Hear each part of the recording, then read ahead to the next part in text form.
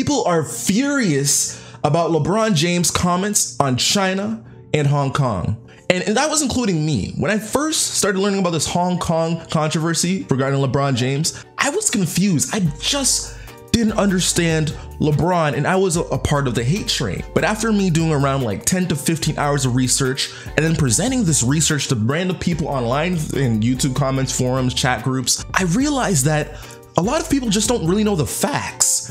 And once you start learning the facts about this, you realize that LeBron James' comments were actually in the right, and we should start actually be directing our hate towards this guy named Daryl Morey, which is the Houston Rockets GM. So to understand this whole China controversy, you really have to look at this one tweet that was made on October 4th by Daryl Morey, Houston Rockets GM, which of course is an NBA basketball team. Now, this tweet by NBA's Houston Rockets GM, which is their president, the person who makes the picks, makes the decisions in the back office, Daryl Morey tweeted, Fight for freedom, stand with Hong Kong. And to understand what makes this tweet so bad that he did and so insensitive to the situation, we really have to understand the history of China, Hong Kong, and just the relationship between the two.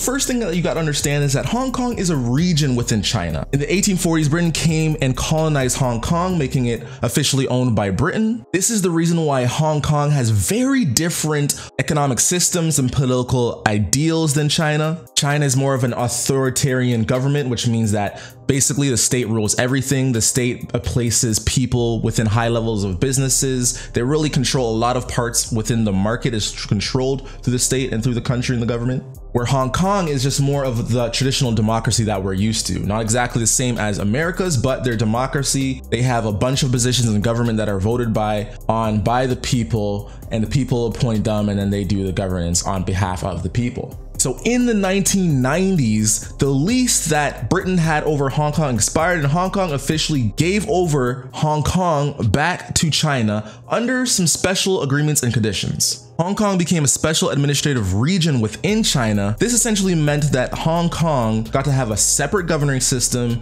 separate economic system, all different from mainland China. And basically, this was under the principle that they called one country, two systems. So although Hong Kong was officially part of China, it got to run under a whole different economic system than China did. Now, the thing to note about this is that Hong Kong and China's special arrangement will end. So in the year 2047, China will fully own Hong Kong and basically Hong Kong will at that time have to abide by China's rules.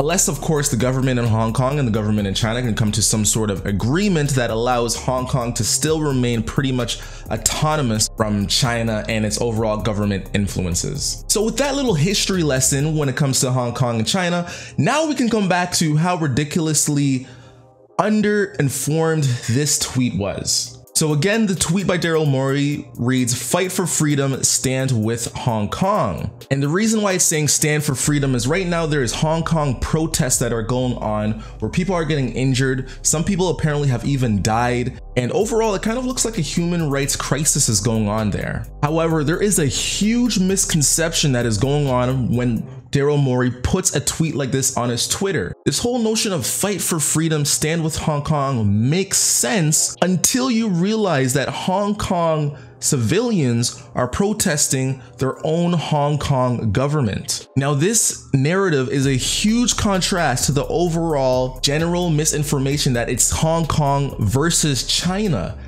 That's technically not true, and it's really fanning the flames of this anti China, opposition, evil China conspiracy media narrative that's really starting to take place. So you may be asking yourself the question what is this bill in Hong Kong, and why are Hong Kongers why are they protesting it so much and risking their safety to protest it? So essentially what this bill does is it is an extradition agreement between China and Hong Kong. That means if there's someone in Hong Kong that is wanted in China, Hong Kong will have to basically send that person to China or China forces can come in and arrest that person.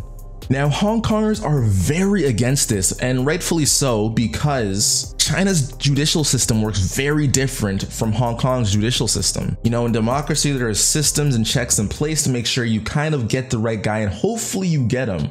Whereas in China, if it's more one person's opinion that you did something wrong, then those systems and checks in place aren't necessarily there and you could just end up in jail without the right judicial process to really plead your point. Now the people that are in within Hong Kong's government that are pushing this bill through, these are known as basically pro-China or pro-Beijing legislators, where the people in government who are opposing this bill, they're known as pro Hong Kong legislators. Now, the way that it works in Hong Kong is that basically the pro China legislators, they always outnumber the pro Hong Kong legislators. And this is because of the fact that China and Hong Kong do a lot of business together. So a lot of the Hong Kong legislators uh, around like I think it's like 30% of them, they represent the business interests within Hong Kong.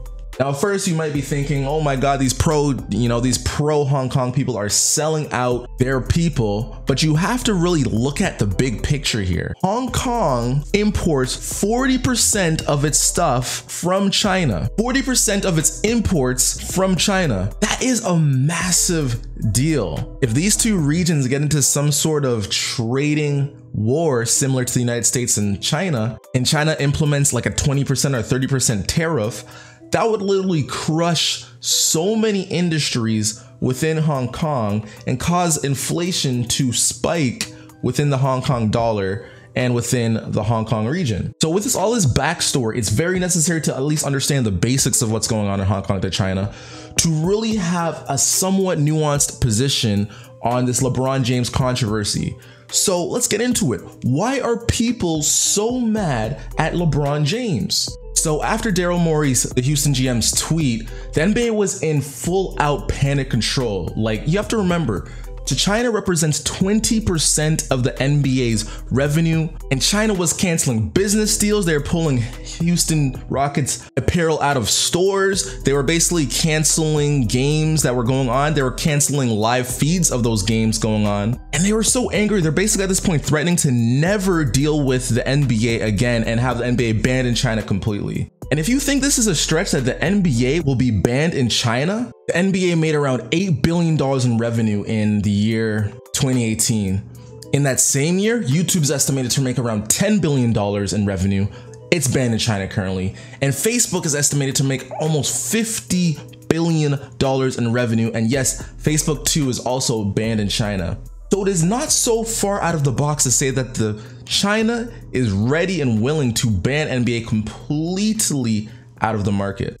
So because Daryl Morey's tweet made it seem like he was supporting Hong Kong versus China when it's Hong Kong mainly protesting against its own government, this tweet now allowed people to make lots of anti-China propaganda or anti-China news and facts and put it in the mainstream news this at the same time where Donald Trump has a complete trade war going on with China. China at this point is just ready to get rid of the NBA problem and cut that completely. Of course, a week after Daryl Morey's tweet, someone has to take the blame. And being the face of NBA, LeBron James basically put his brand on the line and made a comment letting China basically know that the NBA is truly disgusted with this action. So I'm gonna read the quote that LeBron James said in an interview a week after Daryl Morey's tweet about the whole situation. LeBron James says, I don't wanna get into a verbal feud with Daryl Morey, but I believe he wasn't educated on the situation at hand and he spoke, said James. And so many people could have been harmed not only financially, physically, emotionally, and spiritually.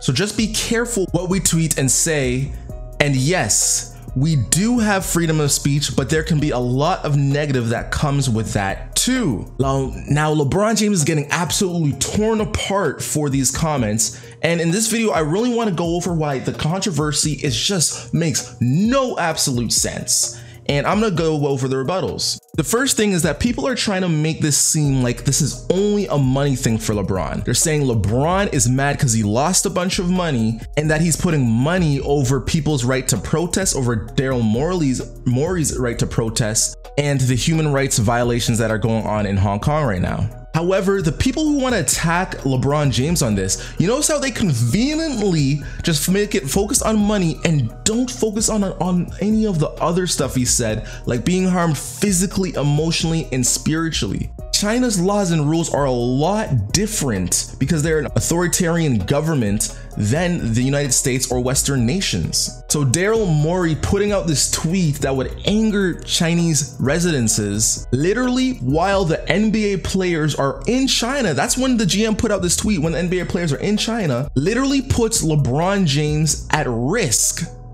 all it takes is one person with a baseball bat or a group of people who are paid to do something to LeBron James or any of the NBA players or any of the NBA staff that has to be there and stay there even after the NBA players leave. It only takes one incident to happen, and that physical incident would have been on Daryl Morey. Now, the big reason why people are getting not taking the physical aspect of this is very simple.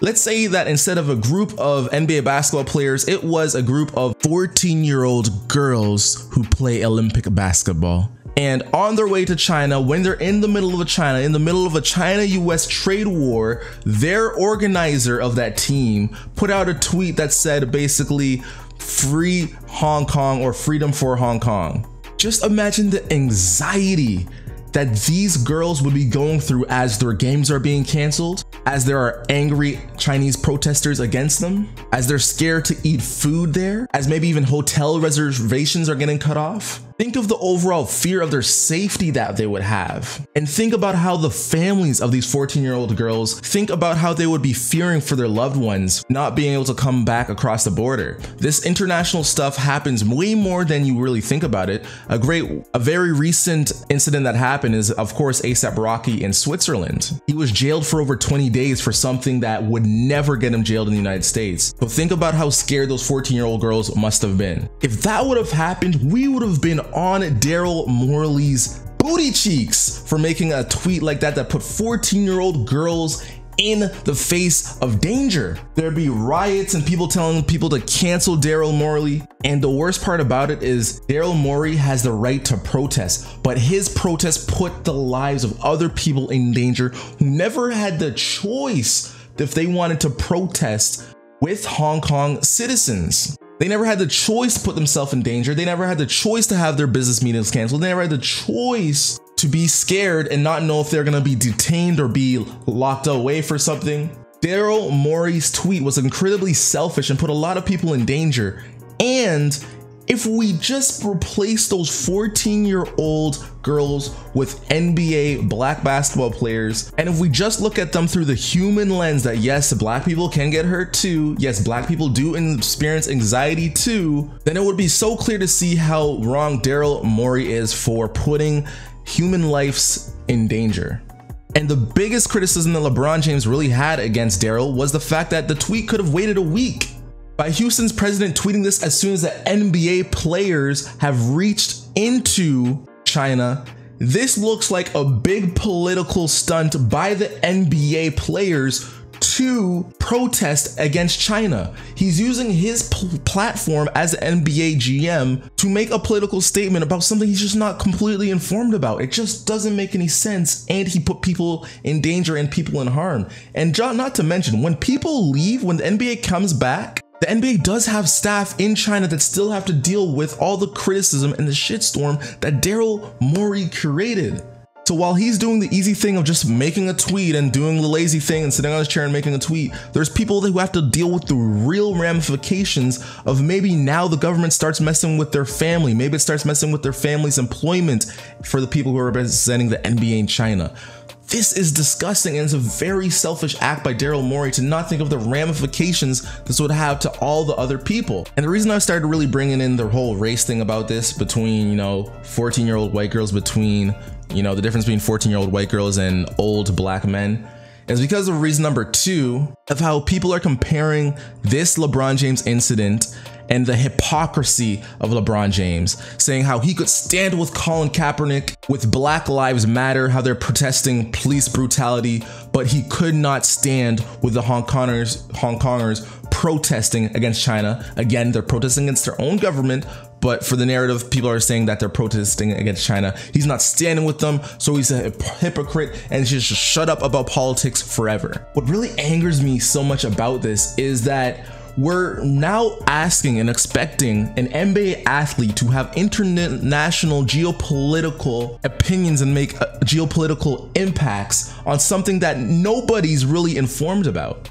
And we're now all of a sudden we're pro America getting in other people's elections and other people's political decisions and other people's democracies. Well, okay, if now all of a sudden we want America to interfere with another country or region's democracy, because remember, this Hong Kong protest is about a bill that's being passed in their government. If we want our NBA players to start getting involved in protesting bills within democracy or within democracy regions or countries, then why is everyone screaming impeach Trump over possible Russian ties and possible Russian meddling in our elections? So you're saying that all countries should keep out of our elections and our political processes, but the United States has a duty. They are demanded, it is expected of LeBron James to go to another country and tell them how they should run their government.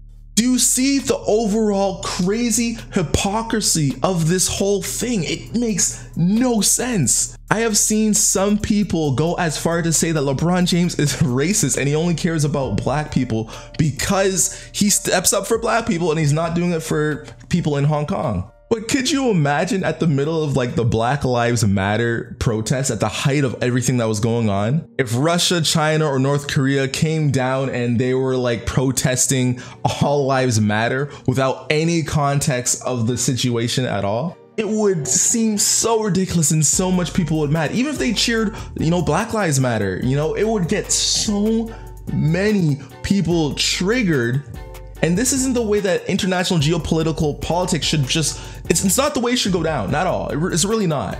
Third unfair criticism of LeBron James is I've been seeing this this quote being used against him for some reason. It's the Martin Luther King quote that's like injustice anywhere is a threat to justice everywhere. And people are trying to use this against LeBron James, saying that, look, man, you can never talk about social justice again. We don't care about those broke, you know, black people in Akron, Ohio that you're trying to help out. We don't care about anything. Never talk about politics again. When again, ah, these people who, you know, are coming and criticizing LeBron are just so uninformed about this whole Hong Kong thing.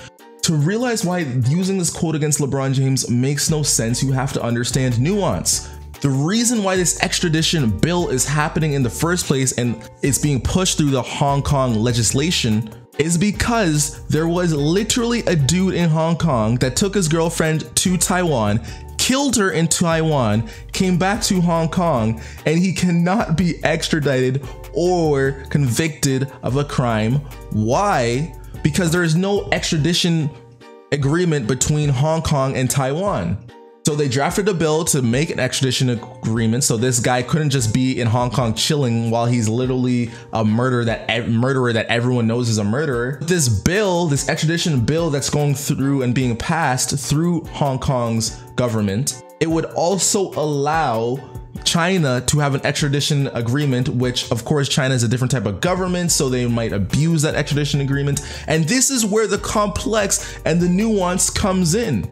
So while while these people are sitting on their moral high horses and criticizing LeBron James for going off and not sticking up for injustices anywhere, there just stinks of such hypocrisy because what about the justice for this guy's girlfriend? What about the justice for this girlfriend's family, her kids, her her cousins, everyone who knows her, her friends? What about the justice for her? If LeBron James was to stand with the Hong Kongers, this girl would again get no justice. So that's why this this whole controversy just stinks of hypocrisy and people are just jumping on the LeBron James bandwagon just because they want to hate him. That's really what it is. They just want to hate him and they don't want to do the research. The fourth un- the fourth unfair criticism of LeBron James has to be that how could he side with the evil Chinese government? And the problem with this again is like you just have to literally do your research and really ask yourself, you know, what does it mean to be evil? You know, this brings me back to that Bible verse. I think it goes something like, you know, Jesus said, Thee who is without sin, cast the first stone. Because when it comes to looking at China's evil, it's really all about perspective. In the 1970s, 9 out of 10 Chinese people were living under $2 a day. $2 a day. That is ridiculous. You can't even buy like a McDouble or a Big Mac with that amount of money. And you're living off of $2 a day? And between 30 to 40 years later, China is literally a powerhouse nation. They have the highest purchasing power out of any place in the world, and their economy is only second really to America's when it comes to the value of their dollar. Now, China's improvement in their economy has literally saved millions of people's lives. They lifted around two thirds of the world's population out of poverty, and many people would have died from just starving to death or childbirth or disease. Those lives have literally been saved because of China's government's political philosophy. So when you're saying that China is evil and you know you're naming all these atrocities that happen in China, you're really not really weighing for all the different lives that China has saved through their economic policies. And then people want to, you know, reference, you know, they're jailing Muslims and apparently there's organ harvesting and, you know, all these people have died mysteriously without the proper judicial processes going through. And yes, these are things that might be the direct result of the type of government that they're running, this authoritarian government. However, whenever you criticize China about, you know, their jailing and what's happening in jails, always remember the US has the same amount of people per capita in jail as China. And in China, religion's just not allowed. It's, it's, it's just not it's just not part of their thing. And it is so easy as us as Western countries or Western societies to take our ideals and say, yo, if your ideals aren't the exact same, then you guys are evil. But please remember, China was basically in civil wars from like 1910s all the way up to basically the 1950s, and people were dying. There's a bunch of dynasties, and then their Communist Party took power, their one party government, and they basically unified China and basically slowly gave control and rule to China, which is why we can see the globalization and these multinational companies can come in now safely and actually do business in China. It's because this one party government put some rule, put some order in there, and now they can actually at a place where economic trades and progress and deals can actually happen. People are talking about, you know, the things that are happening with the Muslims in China. And yes, these stuff are very bad. They're they're very bad. But again, again, this is a country that's trying to repair, trying to fix itself, just like big countries such as America. We all know America has had a history of slavery and they have jailed the most people in their jails out of any country. And guess what? Most of those people are black which means that not only does America have a history of, you know, doing bad things to black people, but they're still doing it to this day, which is reason why Black Lives Matter and other protests are happening because black people are still getting persecuted as a minority class in the states and it's kind of hypocritical for an American or a Westerner to point a finger at China and say, yo, you are you are treating your Muslims very badly. You need to stop it. You're an evil regime when literally the United States had Guantanamo Bay running wild after 9-11.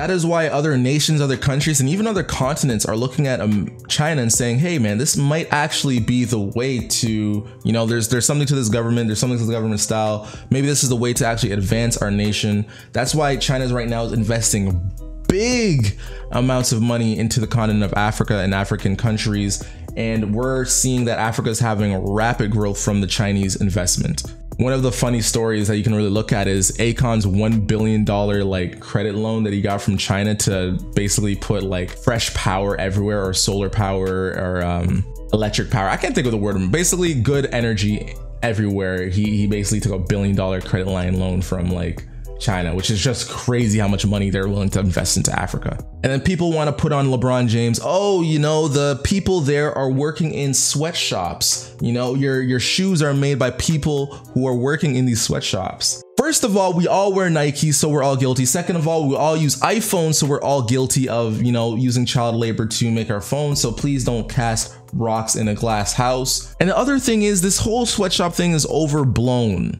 Yes, their standards are not as good as ours. Yes, their working environments aren't as good as ours, but understand that multinational companies can be a good thing and are becoming a better thing for these nations. Remember how Chinese people were living off of $2 a day? Well, remember that the reason, one of the big reasons why this is increasing is because multinational companies, yes, like Nike, are giving people the option to work in factories and make higher wages than they normally would. Now, again, these human, their the conditions of working aren't up to ours, but over time, when more nations can have more bargaining power and the workers can start bargaining better working experiences and more pay, their working conditions and their pay will go up to eventually match the states over time. Just not now, which is why we need to start talking about them, create awareness, but over time, this will converge to ours. And the last reason, oh God, people love to slam LeBron James about this is they're saying he's doing it for the money. And to all these people criticizing LeBron James for caring about money, oh my God, this this just it honestly hurts my head to talk about this. This, this is the same LeBron James that is planning to get around a hundred million dollars to put kids in America through his I Promise school. A hundred million dollars just goes through one ear and comes out the other. But understand it takes around 50 full-time workers their whole lifetimes to make a hundred million dollars. And LeBron James, in the one lifetime that he has, has planned to get that money and commit it to building his I Promise schools to help at risk youth and stop the cycle that he had to experience when he was a kid. If you're talking about a guy who's selfless with his money, please name me some billionaires who have done something that revolutionary, that selfless with all their money he has. He's literally giving his money directly back to his community. And all of a sudden, this guy is the guy who only cares about paychecks. And another thing, the NBA is only worth $8 billion. That is chump change to China. They could easily pull all their money out, and that's around 20% of the NBA's revenue. To all those people criticizing LeBron James for that, let right now, please, please, if you're criticizing LeBron James, take 20% of your paycheck and donate it to the free Hong Kong cause. Please just do that now. Just take 20% of your paycheck, donate it to the free Hong Kong cause. If you want a business, fire 20% of your employees right now and donate their salaries to the free Hong Kong cause. If you have a family, don't talk to 20% of them until they get a plane and fly to the free Hong Kong cause in Hong Kong. And if you have a smartphone, delete 20% of your apps and replace it with all news organizations that are only covering the freedom for Hong Kong citizens. 20% is a lot. And LeBron James isn't somebody who needs a lot of money. He literally stepped on the nail, died on the cross for like half of the NBA players in the league who actually would benefit more from this than LeBron James would. And he's taking the blunt of the heat of heat from this because he is the face of the NBA and he has to be the one to say that Daryl Morey messed up. So instead of criticizing LeBron James, we should instead ask him. LeBron James, if we really care about Hong Kong, LeBron James has been one of the biggest social activists, the biggest social voices, essentially even you some could even say after his prom school, like the modern day Martin Luther King for a lot of social protests, we should ask him, how do we go about and help Hong Kong? What can you do? What kind of organizations can you start? What kind of conversations can you start? But instead of doing that, my man, Daryl Morey, jumped the gun, basically put the NBA in the middle of a shitstorm, in the middle of a trade war, and is causing the NBA to potentially lose over a billion dollars in revenue. If you really wanted to help the Hong Kongers out, you have to be strategical. You can't just share a tweet over Twitter and insult a nation that has over a billion people in it.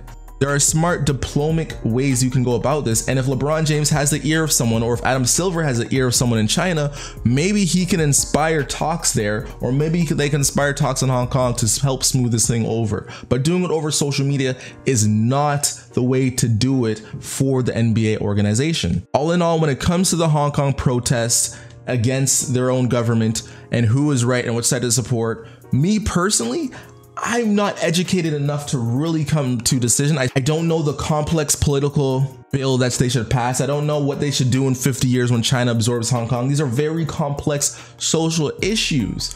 But if you have a disagreement with me in here or there's something you want to add to the conversation, please let me know. This this video I felt just had to get made. I had to let the whole story be heard and I hope we here at the Uneducated Investor podcast can all learn something from this whole situation and hopefully take some nuance when it comes to these social stories. So let me know what you think below. Of course, if you made this far, like the video. I spent so long to make it. I really thought it needed to be made. And as always, the best, most brightest investors are the uneducated ones. Why is that? That's because the uneducated investor, they never stop learning. I try to make between one to two videos a week and I mix investing with politics, investing with business, investing with pop culture. So if that is something you think you're interested in, make sure you hit that subscribe button, click that notification bell, and we, flight crew, we have to take off. See you, baby.